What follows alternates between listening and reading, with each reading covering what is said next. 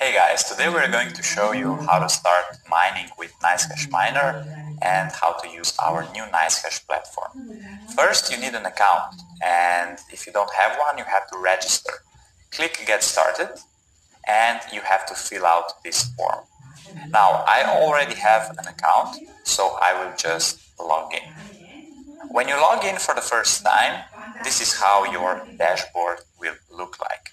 You have to navigate to the mining section and here you have to click download miner. Now we assume you're using a PC or a mining rig with an, an uh, AMD or NVIDIA uh, graphics cards. So just click NiceHash Miner. Click download and you will be transferred to our GitHub page. Now you have two options. You can either uh, download the installer version or the zip package one. Uh, we recommend using an installer version because it gives you a very convenient way of updating your nice miner once the new version is out. So I'm going to choose this version.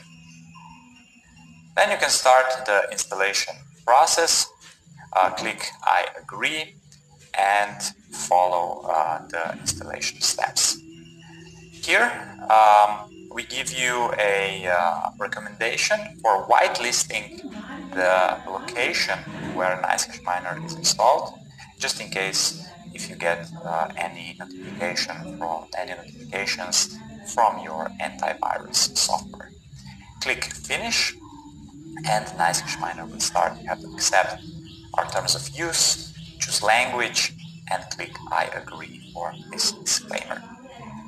Now NiceHash Miner will download all the necessary files for proper operation and we will continue when all the files are downloaded.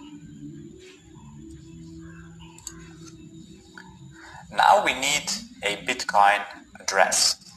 So you have to navigate back to your mining dashboard and here we can see that uh, we have to use this mining address. We click copy and if you accidentally close this pop-up you can always go uh, here where your mining address is located. So just copy this address and paste it in this Bitcoin address field. You can also name your worker. I would just name it uh, a rig. And now I can click start all. In the beginning, uh, all your devices have to be uh, benchmark. This can take uh, a few minutes uh, depending on how many GPUs or CPUs you are using and you can now go back to your rig manager. So rig manager is a section uh, where everything uh, regarding your mining operation will be shown. I can already see my rig has appeared in the uh, my rigs list. Here I can see the rig name, current status. Like I said, it's benchmarking currently. I can see the highest temperature, uh, current rig profitability, uh, and I also have these buttons where I can stop or start the, the, the miner remotely. So I have this remote control uh, uh, functionalities. Here is uh, here are some additional uh, functions uh, that uh, that you can do, um, but mainly this is an area where you will be able to control everything regarding your mining rigs. If I click on this uh, on this tile, I get all the details about my devices. So I can turn off or on uh, specific devices. Um, and here I can also enable CPU mining. So if I go back to Rig Manager, I see uh, the list of my rigs. I currently have only one. You can have as many rigs as you want uh, and everything is free. So uh, you don't have to pay anything to uh, add multiple rigs. Uh, this will uh, this section will turn green once everything is completed and the devices are mining. Here you can see the current profitability for all your rigs combined, your unpaid mining balance. Once you reach 1000 satoshis, you will get payout and payouts happen every four hours. And now we can already see that my rig is mining.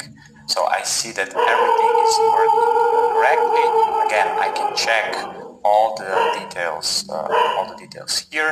I can also navigate to history and stats section where all my uh, all my data about my mining process will be available. If I go back to, my desktop, I can now see this black window. This is completely normal. This means that uh, miners are doing are, are, hashing and now you are uh, sending all your results to NiceHash uh, servers, uh, basically selling your computing power and you are going to get paid big bucks. So make sure you subscribe to our channel, uh, leave a comment below and see you in the next